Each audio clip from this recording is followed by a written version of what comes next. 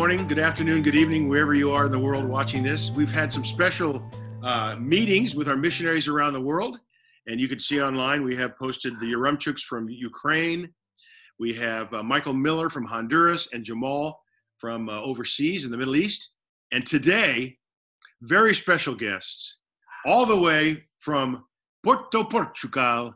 Please welcome, ladies and gentlemen, the Pires family. Here they are. All how you doing? Good. Hi. Doing great. We have uh, Luciano, which is the Papa. Hi, Luciano. Luciene, Mama. We have Pedro down there. Hi, Pedro. And the beautiful Mila. How are you doing, Mila? Don't be shy. Don't be shy. We want to get these going. So anyway, it's great to see you guys. It's kind of a an interesting time in our world right now, isn't it? Yep. Yes. Uh, even out here, I mean, I, I, we have the beautiful ocean. It's beautiful, but we're locked into the house. Uh, we we have to pick up meals and go to the store and wear our big mask, face masks, and they're starting to open things up in California and some of the states, but uh, still have some regulations. So, and then there's a great Mhm. fear that there's another round of this, which I hope doesn't happen. But but Hmm. first of all, I'd like to hear from you guys, and you can tag team and share whoever wants to share. How how are things going for you? How unusual is it right now doing ministry, and how are you going about doing your ministry? Yeah, well, actually, we've been very busy with a lot of Zoom meetings, and that's, I think, how everyone is dealing with the situation of being isolated. Um, so we've have done some colloquium activities through Zoom. And Luciano colloquium, has tell people what colloquium is. Colloquium is Oh, okay. Preaching. Luciano has been preaching. We have meeting with people for discipleship, counseling, coaching. Um, so it is a blessing that we have um, this kind of possibility. But we really miss people and miss to you know be around them, having them over and uh, gather in, in worship. Um, so yeah. Mila. Yeah. While you're on the screen, what uh how what, how has it been for you as a student and a young person? What's it been like being locked down? Well, my school began like online schooling like the week after everything closed. So they were really quick to respond. I'm currently studying for finals that were canceled by Cambridge, but my school still wants to keep going Oh, with them. they should have just blown them off altogether. That would have been. Yeah.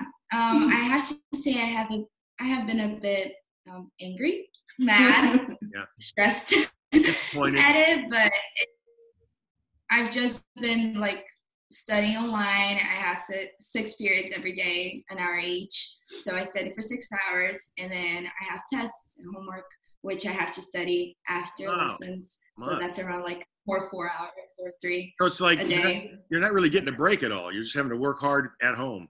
Um, No.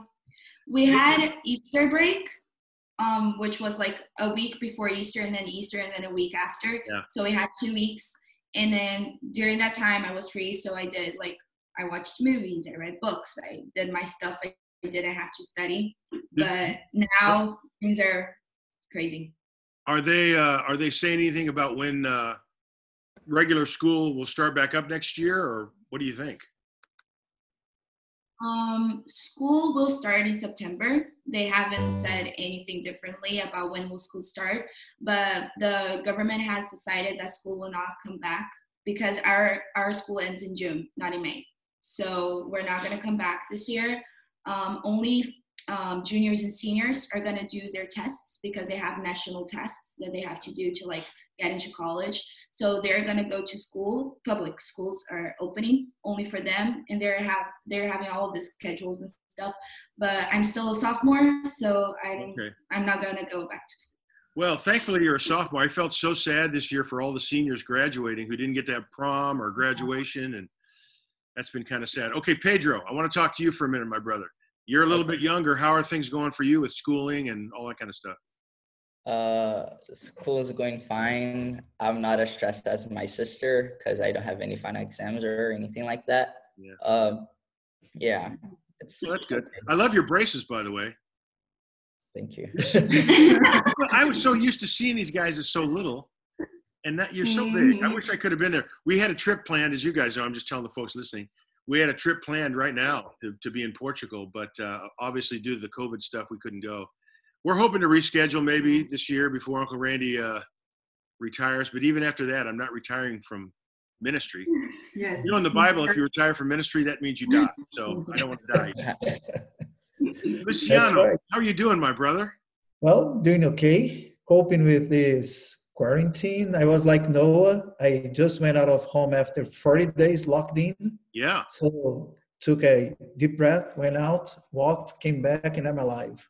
Good. So yeah, doing okay. You got a nice beard going. I had a full beard about a week ago, but I decided Yeah, I'm gonna- I'll, I'll just start over again. yeah, we, We, saw saw that. it in, uh, in picture Oh yeah, in yeah. the Well, Yeah. one of the, one of the reasons I decided to shave is you know just covered my handsomeness, and I didn't want to do too much of that. so I still have to cover mine. yeah. I can't be So- like you, my brother. So as far as ministry though, are you doing uh, like a? Uh, I think Luciene was saying like a colloquium, but online. You're doing some of that. Yeah, that's right. We were about to enter, if I may call it, like phase two for colloquium here. We arrived in Porto about, um, well, in August um, 1918. No, 2018. 1918. Wow, you've been working a long time, brother. no, no, no, 2018. Yeah. And, you know, this first year and a half, we took like, you know, the time to get to know the culture a little better, you know, build bridges with, you know, people here, uh, establish connections so that you can reach out to you know, college students, which colloquium is focused mostly. And we had everything like triggered already to start.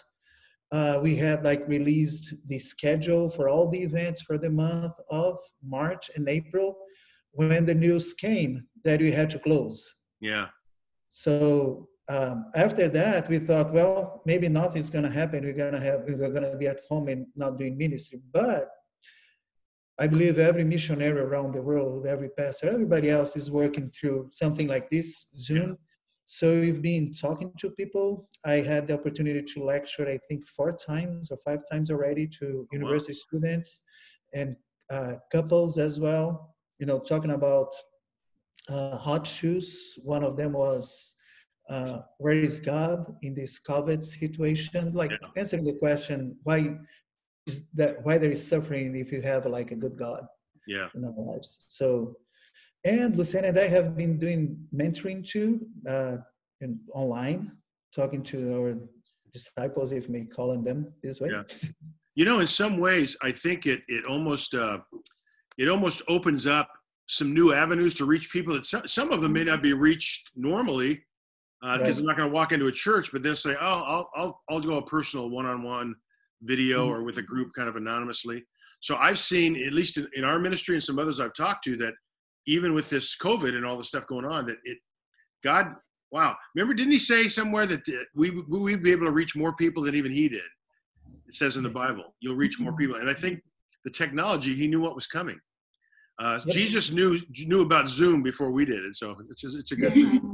And you know what? Uh, it took the Roman army to spread out the disciples, you know, out Yeah. of Jerusalem. Now it took the COVID for us to reach out through other means. Yeah.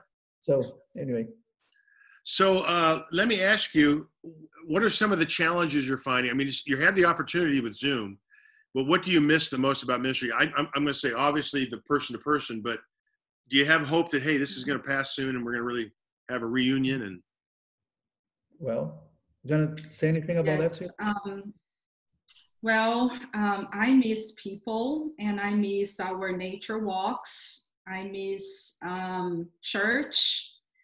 Uh, we have been trying to establish a meaningful routine rhythm at home with good books, music, and lots of baked cooking. Um, but I think we are ready for to go back to our lives. But here in Portugal, what we've been listening is that we're gonna have waves of iso- isolation. that's what we hear. So here. we don't know how things will, yeah, how things will um, go from now on. So Mila, let me ask you: Do you um, you kind of wish you were isolated with Uncle Randy, who could make you uh, cookies and pancakes every morning? Good, good. Yeah. I'm really gonna miss that. If you actually retire and don't visit visit us, I'm gonna be like Oh, I'll visit. dead. Like I say, I'm retiring gonna- from. I'm retiring just so we can be near our family here in California more often. But we still will stay in St. Louis as well, and we'll have. I mean, ministry will go on. Uh, like I say in the Bible, retirement is. Uh, you know, if you want to retire early, some people get eaten by a whale. So you have to make sure you do whatever God wants you to do, right? Right. Let me ask you uh, as we kind of wrap things up um, what are two or three top things that we can be praying for you guys about Yeah. Uh, first, Randy, I think that God will give us uh, will, will, will give us wisdom and insights into the culture, how to ministry to people after this pandemic is over. You know, with all the business going down, not all, but many business going down, and Yeah. people in their jobs. Lots of people have lost good friends and close relatives. So Mm. the question is, should we continue doing exactly the same thing in the same way? Should we change our approach? No, we need some insight into it.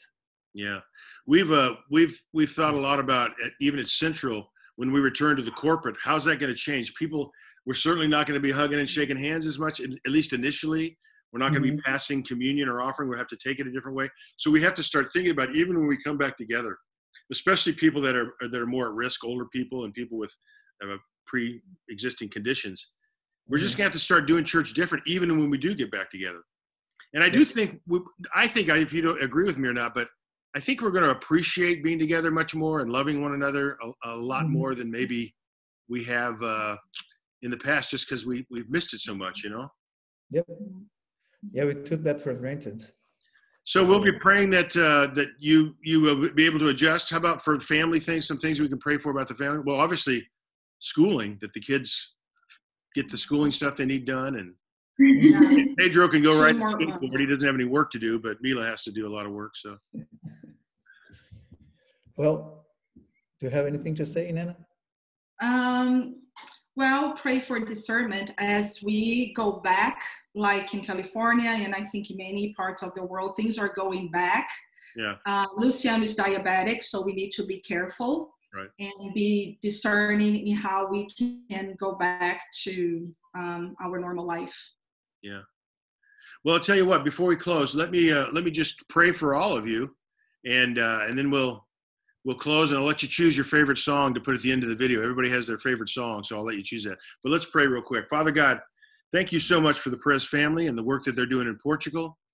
Uh, we know this is a, a, a different kind of time. I was going to say difficult, but it's different, and we have to minister in different ways. So I pray that you would just guide and direct us to lead us to minister to folks the best that we can through uh, non-socializing person to person. But uh, we thank you for the, the kids and the schooling that they're finishing up, and that they would be able to return to school uh, next semester when things open back up.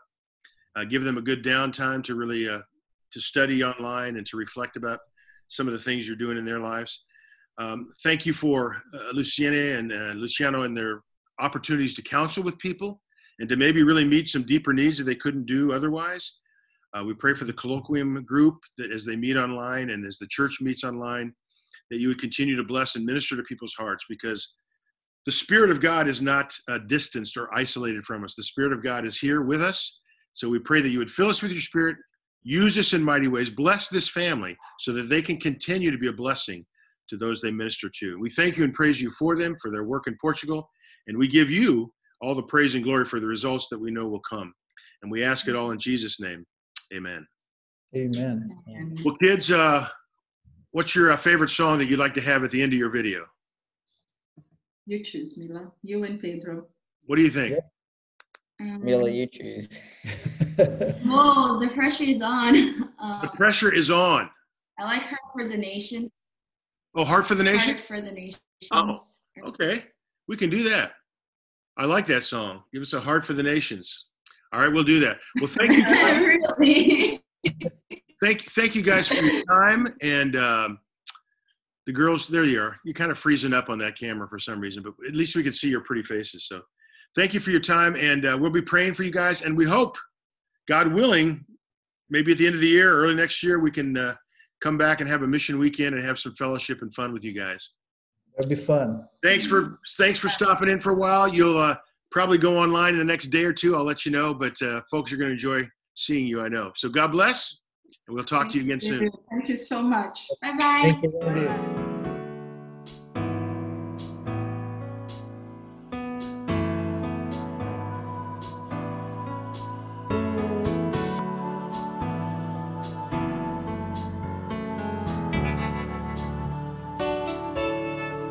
Give us your heart for the nations. Let us be light Use us to declare your salvation to the people of the earth. May we be moved by compassion. Let us know your love for the lost. Lord, use us to lead them to the cross.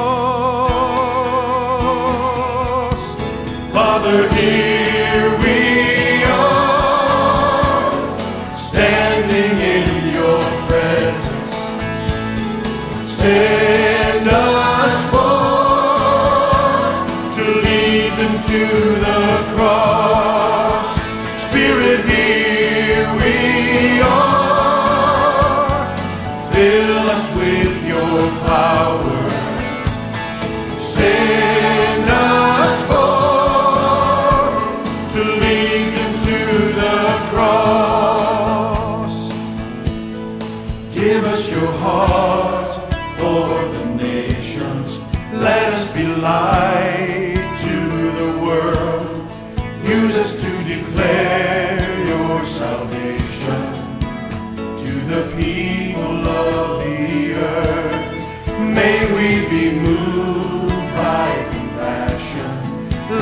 know your love.